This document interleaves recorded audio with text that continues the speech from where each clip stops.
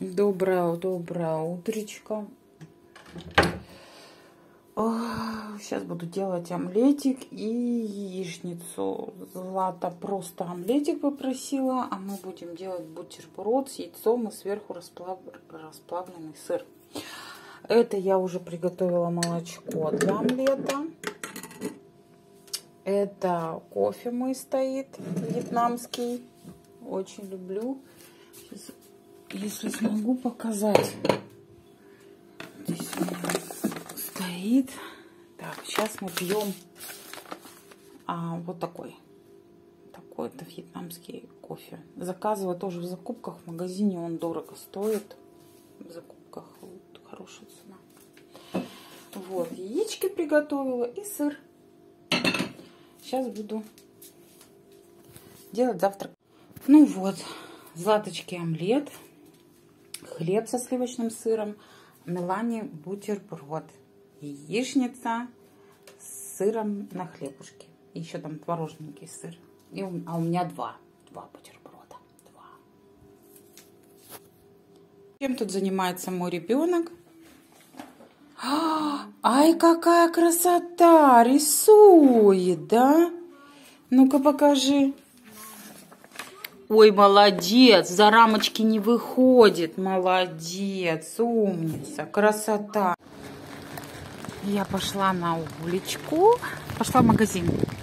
А на улице и дождь, слякоть и холодно. Девочка, красавица, вы мне очень нравитесь. Сказал продавец и подарил мне огурец. Почему? Что я купил в курином магазине?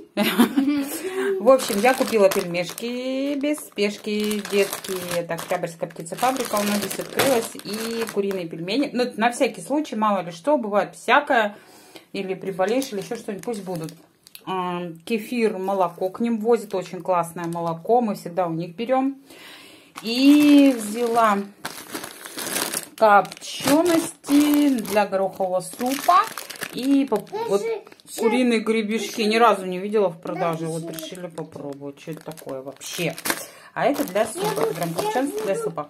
Взяла также куриное филе 3 килограмма. Ну, и окорочка там на супик или на рагучку на что-нибудь. Полтора килограмма. А с куриного филе я разделю его на три части. Одну часть оставлю свежим видом, там мало ли что там с капустой подушить или еще что-то. Одну часть замариную. Это для жарки отбивных. И одну часть сделаю фарш. То есть вот так. Так, так, так. Сегодня у меня до шторок опять руки не доходят. И рассказываю. Значит, вот это я буду солить. И потом я буду доставать и просто жарить. Можно делать отбивнушки, но нужно посолить перед этим. Я приготовила для этого соль, паприку, сила шпика копчености приправу и чесночок. Я это все посолится, замаринуется. И потом, когда жаришь, будет мясо мягонькое и не будет отдавать сок. Потому что соль держит себе сок. А это я приготовила, сейчас буду делать фаршик. Просто его посолю, поперчу и все. Потом буду доставать, добавлять лучок, яички и буду жарить. Сделаю заготовочки. Так, сначала займусь мяском. Так, дочь, не трогать, не трогать. Сейчас все рассыпешь, зай. Добавлю 2 столовых ложки сюда соли, не стесняясь совсем. Пересаливать тоже не надо. 2 столовых ложки будет вполне достаточно. Дальше прям на глазик прям на глазик. Паприки, паприки можно побольше с копченостями. Она прям, э, написано паприка с дымком. И она прям такой вкус дает. Сила шпика копченостей тоже. Так вот. И чесночка совсем чуть-чуть. Вот, все убрали. И быстренько все пожамкали. На сутки в холодильник. И завтра я что-то пожарю, а что-то уберу в морозилку. Все. Красота. Ну все, теперь я это убираю в холодильничек, накрываю пакетиком. А остальное буду делать сейчас. Так, так, получилось у нас на выходе. Вот, я не взвешивала. А, большой пакет сделала и маленький фарша. Маленький это на суп с фрикадельками. С лапшой девчонки очень любят. А это сделаю котлетки, когда будет Костя отдыхать. Ну или вообще Просто взял, настряпал, уже добавил. Э, конечно же, фарш я подсолила, поперчила, подсолила, чтобы он не отдавал воду при заморозке и при разморозке. Он будет держать воду при себе, и мяско останется сочным. Так, а я сейчас сделаю домашний майонез. Для этого мне понадобится... Я уже все делаю на глаз. Раньше делала прям по пропорциям, сейчас вот на глаз. Вот где-то у меня треть, наверное, 700, 700 миллиметровой баночки.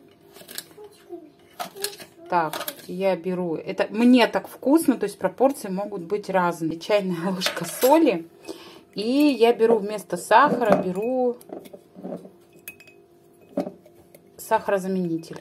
Так и ложечку соли можно даже еще, наверное, маленько чуть-чуть чуть-чуть добавить. Вот, сейчас я уберу. И теперь, теперь мне надо разбить два яичка. Мне для этого потребуется две руки. Так, как бы мне так показать? Вот я разбиваю, просто у меня два маленьких яичка. Обычно, если это СО, то высшего сорта, то одно яичко. Вот на такое количество. Но у меня маленькое, поэтому мне надо в чем здесь самый прикол. Это в том, что нужно начинать сбивать именно желтков. Так, сейчас. В общем, я опускаю. Так. И собираю аккуратненько желтки, вот как бы мне показать, аккуратненько, чтобы их не порвать и чтобы они... Вот, я ставлю, так, прям ставлю и начинаю взбивать. И оно прям сразу загустевает и начинает, вот сейчас покажу. Одной рукой очень неудобно. Сейчас я взобью. Какая получается густая, прям очень густая. Вот прям густая такая. Вот теперь сюда я добавляю еще чайную ложку горчицы. У меня горчица э, вот такая, вообще зернистая. Но лучше не зернистую, обычную, остренькая.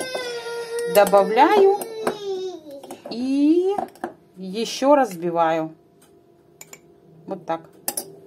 Ну и вот, собственно, сколько получается. То есть, получается больше. Немножко. Ну, он вкусный и без всяких там кислот, яешек и так далее. Моя девочка, он животик уже большой, да? Дай-ка тебе. Скоро, скоро будешь опять худенькая, да? Да, Молечка, красавица, девочка. Скоро будет мамочка. Моя девочка, уже неудобно умыться, неудобно лизаться. Большой пузик, да? Вот такой пузик у нас. Вот, наконец-то очередь дошла и до шторок. Сейчас буду заниматься.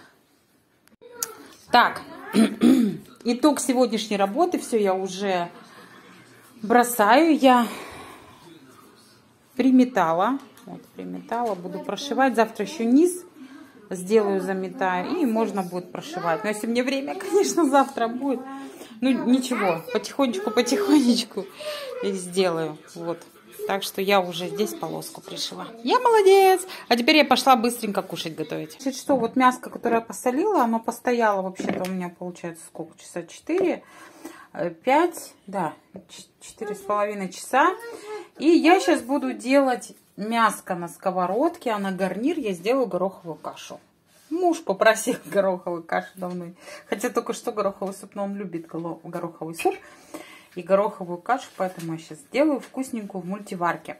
А что я сделаю с мяском? Я его а, разделила, вот оно стало прям такое плотное, когда оно посолилось, в идеале, чтобы оно постояло хотя бы 12 часов. Остальное я отправила в морозилку, и вот оставила, вот получается, вот здесь две грудки, я их вдоль разрезала, и осталась одна. Сейчас я это все отправлю на сковородочку. Мяско на сковородке. Накрываем.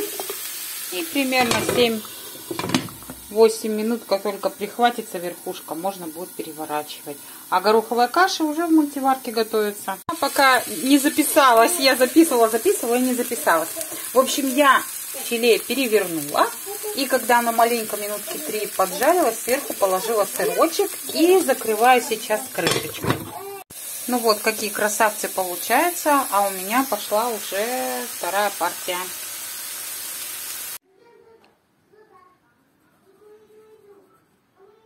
А что ты делаешь, ма? На